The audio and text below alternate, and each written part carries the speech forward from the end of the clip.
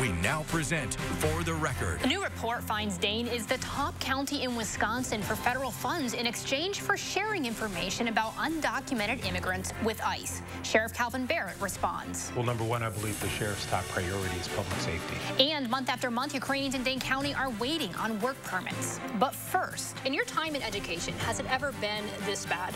Never. Welcome to For the Record. I'm Naomi Kowles. The first day of school has come and gone this week for many in our area. And this time around, the start of school comes as the U.S. Department of Education says the number of teachers nationwide has dropped by 280,000.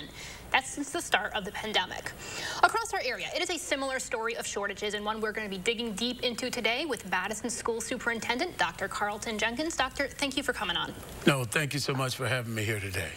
Let's start with first day. How's it been for the across the Madison district? Oh, it's just been fabulous. Just seeing our students come back, the connections with the students and with the staff, and seeing the parents actually crying, letting go of their little ones and seeing the little ones just run in like they've been here before. But this has been an amazing start with the energy, just seeing everyone just excited to be back in school. So we're really excited in Madison uh, Metropolitan School District.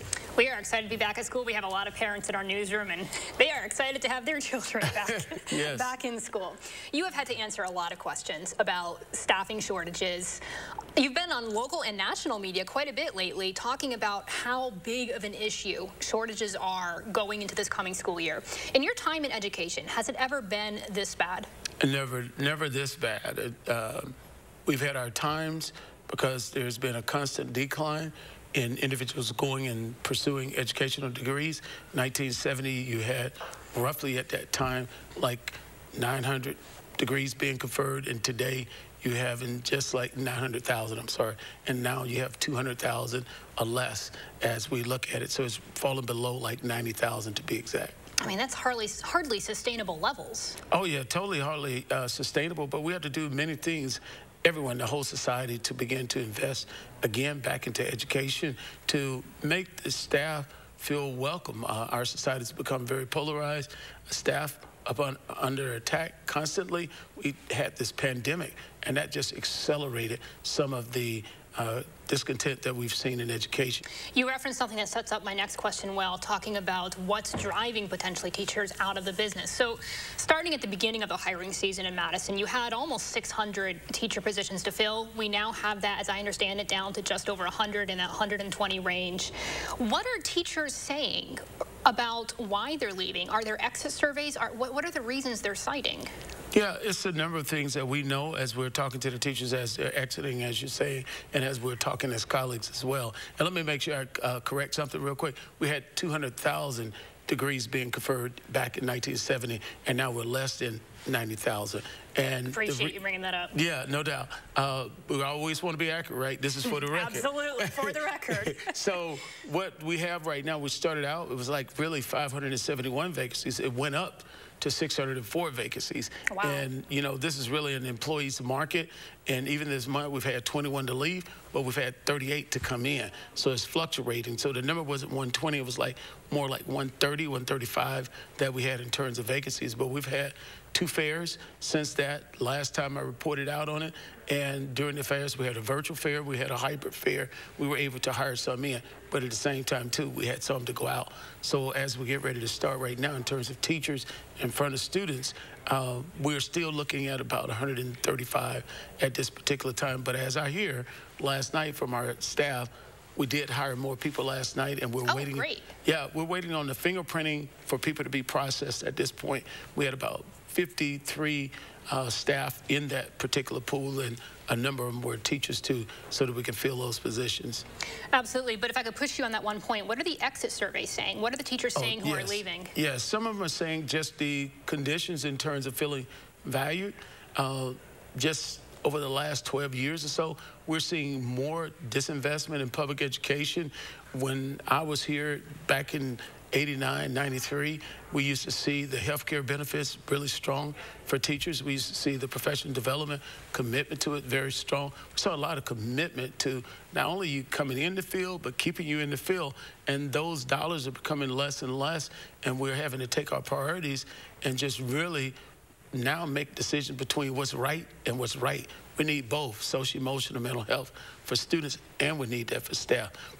We can't talk about the teacher shortage without talking about teacher pay. Oh, yes. This summer, the Madison Bo School Board only voted to allow a wage increase of about two-thirds of what the Madison Teachers Union wanted. We saw other districts in Wisconsin, districts like Kenosha, Milwaukee, even here in our area, McFarland, approve much higher increases in pay for their teachers. So, I mean, that has to be part of the, the equation here. How do we get our teachers higher pay? Yeah, one of the things when you said in the exit report, and you look at other reports that's out there, um, even Secretary Cardona talked about pay being about the fourth thing on the list.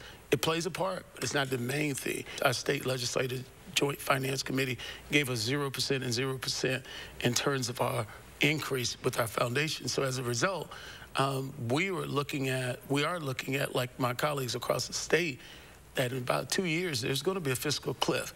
We all received a whole bunch of money in terms of the ESSER dollars. Those are one-time dollars. You can't plan a budget with ESSER dollars. So yes, that may have played a part for some in terms of showing value, but the reality of it is it wasn't just this year in terms of not giving enough.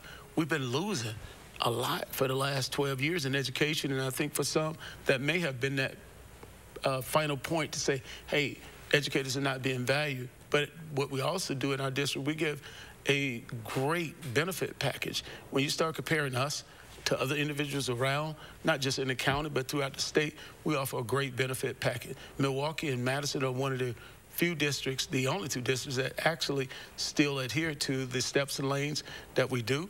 Um, there are other things that we try to do in our district. So just a straight 4.7% versus the 3%, it looks like on paper that it was a lot different. But when you start adding it up, um, it's not enough uh, from our end or the 4.7 to be quite frank with you because we've fallen so far behind with teacher wages, not only in our state, but throughout the country. Not to mention inflation there. You said that uh, teacher pay was cited as number four on exit surveys? Yes. What was one, two, and three? Yeah, the working conditions. You want to think about the working conditions. When you're in the midst of a pandemic, we all had to pivot, right? You had to pivot a lot. So when you start thinking about every day you come into work, when, we, when the pandemic first hit and we closed schools back March 13th, we all thought we were going to close school. We knew nothing about COVID-19. We thought if you rubbed somebody on the shoulder, you would catch COVID, right? We all put our gloves on and everything. We went in and wiped everything down. We thought we'd be back to school in two days or three days. Who would have ever thought we'd have been out of school as long as we were in terms of addressing all the mitigation strategies that we had to address? So that was very stressful when you start thinking about that. So the working conditions and then just the isolation during the pandemic it's very much been shown now the social emotional mental health piece. Yes, we were trying to do it, but a part of teaching is the magic. Uh, but seeing our students, that's the piece we get into this uh, field for to make a difference, to have an impact. And then just the attacks. The attacks came left and right in terms of whether or not our staff were doing their best. And here we were trying to carry the whole country on our backs. Absolutely. We've got to wrap up here in about a minute, but I, I do want to get a couple, uh, one other question in. We're just in regards to student impact, right? When you're dealing with all these teacher vacancies, when you're having other people cover for, you know, these roles, as I imagine, mm -hmm. there's an impact to students when they're being taught by substitute teachers versus teachers who have a history in the community, and no, no shade to substitutes. they are no, doing important no, and amazing no. work, but what's the loss to students when you don't have those teachers who know the students, who have been in there year in and year out? Well, I tell you, that's something that recently you're seeing a lot of discussion about what will be the impact. We're very fortunate in our district. We'll continue to go with highly qualified uh, subs for us. We have highly qualified teachers that some are former teachers just recently retired and others have been long retired. And even down to our substitutes, we're still maintaining the standards. So I know across the country you're hearing people go to associate's degrees and some not even having degrees at all. That's to be yet uh, to be determined in the years to come, we will find out what the real impact has been of this pandemic. But it will be serious, and we must be intentional now in trying to address it. Dr. Jenkins, I so appreciate you taking so much time to talk through this issue this morning. It's incredibly important. Yeah, thank you so much. Absolutely. Coming back, the ties between Dane County and the information it shares with ICE about its undocumented immigrants.